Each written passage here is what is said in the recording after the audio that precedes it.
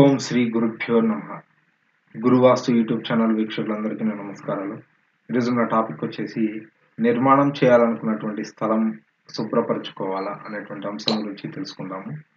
ముందుగా నా పేరు దుర్గా సాయినాథ్. మీకు గల ఎటువంటి వాస్తుపరమైనటువంటి సందేహాల కొరకైనా సరే ఈ స్క్రీన్ మీద కనిపిస్తున్నటువంటి నెంబర్కి కాల్ కానీ వాట్సాప్ కానీ చేసి మీకు గల వాస్తుపరమైనటువంటి సందేహాలకు సజెషన్స్ తీసుకోగలరు. అదేవిధంగా నూతన గృహ నిర్మాణాల ప్లాన్ల కొరకు కూడా సంప్రదించగలరు. మా వీడియోస్ మీకు నచ్చినట్లయితే లైక్ చేయండి షేర్ చేయండి సబ్స్క్రైబ్ చేసుకోండి మీ ఫ్రెండ్స్ అండ్ ఫ్యామిలీ మెంబర్స్కి సజెస్ట్ చేయండి. తద్వారా మీతో పాటు వాళ్ళు కూడా వాస్తుకు సంబంధించినటువంటి సరైన నాలెడ్జ్ తెలుసుకోవడానికి అవకాశం ఉంటుంది. టాపిక్లోకి వెళ్ళిపోతే జనరల్గా ఏదైనా సరే ఒక నిర్మాణం చేపట్టాలి అనుకున్నప్పుడు ఆ నిర్మాణానికి సంబంధించినటువంటి స్థలంలో ఆ స్థలాన్ని మొత్తం కూడా శుభ్రపరచుకోవాలి అని అంటే ఇక్కడ రెండు విషయాలకు సంబంధించినటువంటి సమస్యలు మనకు ఉండడం జరుగుతుంది. అసలు ఎందుకు స్థలాన్ని శుభ్రపరచుకోవాలనేటువంటి విషయం గురించి మనం ఇక్కడ ప్రస్తావించుకున్నాము. ఏదైనా జనరల్గా ఇళ్ళ మధ్యలో ఉన్నటువంటి ఏదైనా ఒక స్థలం ఖాళీగా ఉంది అని అనుకుందాం. ఇక్కడ మీరు అబ్జర్వ్ చేస్తే ఇది మీ పరిసర ప్రాంతాల్లో కావచ్చు లేదా మీ స్థలానికి కూడా జరిగి ఉండొచ్చు. ఎందుకు అని అంటే చుట్టుపక్కల ఖాళీగా ఉన్నటువంటి స్థలాలు కావచ్చు ఇళ్ళ మధ్యలో ఉన్నటువంటి ఖాళీ స్థలాలకు సంబంధించి కావచ్చు జనరల్గా పక్కన ఇళ్ళ వాళ్ళు ఏం చేస్తూ ఉంటారంటే వాళ్ళ యొక్క చెత్త చెదారం మొత్తం కూడా ఇంటి బయటకు వచ్చి చెత్త కుండీలో వేయకుండా పక్కన ఖాళీ స్థలమే కదా అని చెప్పేసి ఆ ఖాళీ స్థలాల్లో వేస్తూ ఉంటుంటారు. వాళ్ళ యొక్క చెత్తతో పాటు గాజు సీసాలు కావచ్చు కొన్ని సందర్భాల్లో పాడైపోయినటువంటి పగిలిపోయినటువంటి కొండలు కావచ్చు కొండ పెంకులు కావచ్చు. అట్ ద సేమ్ టైం కొన్ని సందర్భాల్లో నీళ్ళ కూజాలు ఇటువంటివన్నీ కూడా ఉంటుంటాయి. వాటన్నిటికి సంబంధించినటువంటి అవశేషాలు కావచ్చు వాళ్ళ గోర్లు కావచ్చు వాళ్ళ వెంట్రుకలు కావచ్చు ఏవైనా సరే ఆ చెత్తతో పాటు ఆ ఖాళీ స్థలంలో పడేయడానికి అవకాశం ఉంటూ ఉంటుంది. ఇక్కడ మీరు అబ్జర్వ్ చేస్తే ఇది వచ్చేసి రెండు రోడ్ల కార్నర్లో ఉన్నటువంటి స్థలము. యజమాని చేసినటువంటి పని ఏంటి అంటే క్రాస్లో ఉన్నటువంటి ముక్కనంతా కూడా సరి చేసేసుకొని ఈ విధంగా కాంపౌండ్ వాల్ అనేది ఏర్పాటు చేసుకోవడం జరిగింది. అయినప్పటికీ ఈ రెండు రోడ్ల కార్నర్లో ఏమైపోతుంది అని అంటే జనరల్గా జనాలు వస్తూ పోతూ ఉంటే అక్కడే చెత్త చెదారం వేయడము లేదంటే మలమూత్ర విసర్జనలకు పోవడం ఇటువంటివన్నీ కూడా చేస్తూ ఉంటుంటారు. జనరల్గా అలానే జరిగినటువంటి స్థలం ఇది. ఇక్కడ ఏమైపోతుంది అంటే కొన్ని సందర్భాల్లో ఇప్పుడు నేను చెప్పినటువంటి అన్నీ కూడా ఇక్కడ ఉండడానికి అవకాశం ఉంటుంది. అవన్నీ కూడా ఇక్కడ ఈ స్థలంలో వేయడానికి అవకాశం ఉంటుంది. అట్ ద సేమ్ టైం మనం ఈ స్థలం అంతా కూడా శుభ్రపరచుకోకుండా ఇలాగే ఉంచేసేసుకొని ఏదో పై పైన శుభ్రం చేసేసుకొని మట్టి తీసుకొచ్చి ఈ మట్టి అంతా కూడా ఈ స్థలంలో వేసుకొని కన్స్ట్రక్షన్ చేసామనుకోండి ఇక్కడ వీటిలో ఉన్నటువంటి అవశేషాలన్నీ ఏవైతే ఉంటాయో భూమి లోపల ఇమిడిపోయినటువంటి అవశేషాలన్నీ మనకు తెలియక ఇమిడిపోయినటువంటి అవశేషాల ద్వారా వాటి యొక్క నెగిటివ్ ఎఫెక్ట్ని మనం తీసుకోవడానికి అవకాశం ఉంటుంది.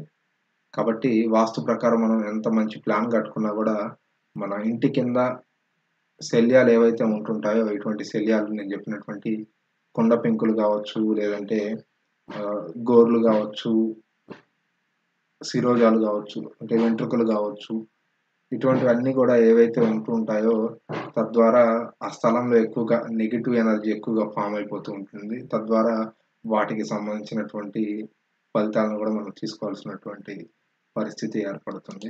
ఇది ఒక సందర్భం. అయితే ఇంకొక సందర్భం ఏంటి అని అంటే జనరల్గా మనకున్నటువంటి స్థలాలు కొద్దిగా దూర ప్రాంతంలో ఉన్నాయి అనుకోండి ఊరి చివర కావచ్చు లేదంటే ఏదైనా వెంచర్స్ కావచ్చు ఇటువంటి కొద్దిగా దూరంగా ఉన్నప్పుడు ఆ స్థలాలు మెయింటెనెన్స్లో ఉండవు.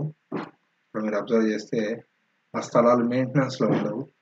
అటువంటి మెయింటెనెన్స్లో లేనటువంటి స్థలాల్లో ఏమవుతుందంటే చిన్న చిన్న జంతువులు ఏవైనా అక్కడ చనిపోవడము ఆ జంతువుల యొక్క అవశేషాలు ఆ భూమిలో కలిసిపోవడం జరుగుతుంది.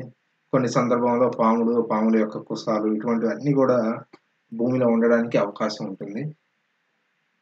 అటువంటి సందర్భంలో కూడా ఆ స్థలం పైన మనం కొత్త మట్టి తీసుకొచ్చుకొని ఆ కొత్త మట్టి వేసేసేసి మనం ఇంటి నిర్మాణం చేసుకోవడం ద్వారా కూడా ఆ భూమి లోపల ఉన్నటువంటి వాటి యొక్క శల్యాలు మనకు తెలియవు కాబట్టి వాటి నుంచి కూడా మనం ఎక్కువగా దుష్ప్రభావానికి లోనవడానికి అవకాశం ఉంటుంది. ఇటువంటి పరిస్థితులు మనం ఎదుర్కొనాలి అని అంటే వీటి యొక్క దుష్ప్రభావాలు మన మీద లేకుండా ఉండాలి అని అంటే ఖచ్చితంగా అంటే ఖచ్చితంగా నిర్మాణం చేపట్టాలి అనుకున్నటువంటి స్థలాన్ని శుభ్రపరచుకోవాలి. పై పైన మాత్రమే శుభ్రపరచుకుంటే సరిపోదు. స్థలాన్ని ఎంత లేదన్నా కూడా కనీసం మూడు అడుగుల నుంచి ఆరు అడుగులు మట్టి అంతా తీసేసి కొత్త మట్టిని ఏర్పాటు చేసుకోవాలి. రోడ్డు లెవెల్ నుంచి ఒక మూడు అడుగులు తీసేసి కొత్త మట్టి పోసుకోవడము లేదంటే ఒక ఆరు అడుగుల దాకా తీసేసి కొత్త మట్టి పోసుకోవడం అనేది చేసుకోవచ్చు. వెనకటి రోజుల్లో చేసేవాళ్ళు కొత్త మట్టి తీసుకొచ్చుకొని ఆ కొత్త మట్టిని ఏర్పాటు చేసిన తర్వాత కన్స్ట్రక్షన్ చేసుకోవడం అనేది జనరల్గా జరుగుతూ ఉండేది. ఇక్కడ అలాగా కన్స్ట్రక్షన్ చేసినటువంటి ఒక ఇమేజ్కి సంబంధించి మీరు ఒకసారి ఇక్కడ అబ్జర్వ్ చేస్తే యాక్చువల్గా ఈ స్థలం అంతా కూడా ఇక్కడ బ్యాక్ సైడ్ మీకు కనిపిస్తున్నటువంటి ఈ ఫ్లోర్ ఈ నేల లెవెల్ ఉండడం జరిగింది. అయితే కన్స్ట్రక్షన్ చేసేటువంటి యజమాని సుమారుగా ఒక నాలుగు అడుగుల దాకా మొత్తం కూడా మట్టిని తీసేసేసి ఇంకా అంతకంటే లోతులో పిల్లర్లు అనేవి ఏర్పాటు చేసుకోవడం జరిగింది. కాస్ట్ ఆఫ్ కన్స్ట్రక్షన్ పెరిగినప్పటికీ కూడా అతను ఈ విధంగా చేయడం జరిగింది. ఇక్కడి నుంచి మళ్ళీ కొత్త మట్టిని ఏర్పాటు చేసుకున్న తర్వాత అతను ఆల్రెడీ రోడ్ లెవెల్ దాకా ఒక ఫోర్ ఫీట్ ఉంటుంది. మళ్ళీ అక్కడి నుంచి ఎంత లేదన్నా కూడా రోడ్ లెవెల్ నుంచి two to three feet height రావడం జరుగుతుంది. అక్కడి నుంచి పైకి మనకి ఇంటి యొక్క నిర్మాణం అనేది ఉంటుంది ఈ ప్లేస్లో మొత్తం కూడా మనం కొత్త మట్టిని పోసుకోవడం ద్వారా ఖచ్చితంగా అంటే ఖచ్చితంగా శల్యాలు అనేవి ఏవి కూడా ఉండడానికి దాదాపుగా అవకాశం ఉండదు. ఇంకా మనకి తెలియకుండా ఇంకా ఏమన్నా శల్యాలు భూమి లోపల ఐదారు అడుగుల కంటే కూడా ఇంకా భూమి లోపల ఏమైనా ఉంటే మనం వాటికి చేయగలిగింది ఏం లేదు. కనీసం మూడు అడుగుల నుంచి ఆరు అడుగుల లోపు మట్టిని తీసేసేసి కొత్త మట్టి ఏర్పాటు చేసుకొని దానిపైన మనం నిర్మాణం చేసుకోవడం ద్వారా దాదాపుగా ఉండేటువంటి శల్యాలన్నీ వెళ్ళిపోవడం అనేది జరుగుతుంది. ఏ శల్యాలు కూడా ఇక మన కన్స్ట్రక్షన్లో కింద అనేది ఉండడం జరగదు. కాబట్టి ఎవరైనా సరే ఇంటి నిర్మాణాలు చేపట్టాలి లేదంటే ఏదైనా కన్స్ట్రక్షన్ చేపట్టాలని అనుకున్నప్పుడు ఖాళీ స్థలాలు లేదంటే కొన్ని సందర్భాల్లో ఎన్నో సంవత్సరాలుగా పాడుపడిపోయినటువంటి ఇళ్ళు ఉంటుంటాయి. ఆ ఇళ్ళును డిమాల్షన్ చేసి నిర్మాణం చేపట్టాలి అనుకుంటుంటారు. అటువంటి వాళ్ళందరూ కూడా ఖచ్చితంగా అంటే ఖచ్చితంగా ఈ స్థల శుద్ధికి సంబంధించినటువంటి పని చేసుకోవాలి. అదేవిధంగా అట్ ద సేమ్ టైం పాత నిర్మాణాలు తీసేసి కొత్త నిర్మాణాలు చేసుకునే వాళ్ళు ఎన్నో సంవత్సరాలుగా ఖాళీగా ఉన్నటువంటి నిర్మాణాలు తీసేసి కొత్త నిర్మాణం చేసుకోవాలనుకున్న వాళ్ళు వాటికి సంబంధించినటువంటి పూజాది కార్యక్రమాలు కూడా చేసుకుంటూ ఉంటుంటారు. మీరు అబ్జర్వ్ చేసి ఉంటుంటారు మీ పరిధిలో ఎవరైనా అలా చేసుకుంటే. ఈ పద్ధతులను పాటించడం ద్వారా శల్య దోషాలకు సంబంధించి అదేవిధంగా నెగిటివ్ ఎఫెక్ట్స్ ఏవైతే ఉంటుంటాయో ఎంతో కాలంగా ఖాళీగా ఉన్నటువంటి గృహాలను తీసేయడం ద్వారా అక్కడ కొంత నెగిటివ్ ఎనర్జీ అనేది ఉండడానికి అవకాశం ఉంటుంది. వాటన్నిటికి సంబంధించినటువంటి సమస్యలు లేకుండా ఉండడానికి ఈ విధమైనటువంటి పద్ధతులనే మనం పాటించవచ్చు. కొంతమంది వెంచర్స్కి సంబంధించి కూడా అడుగుతూ ఉంటుంటారు. ఈ వెంచర్లలో కూడా మనం ఈ పద్ధతిని పాటించాలా?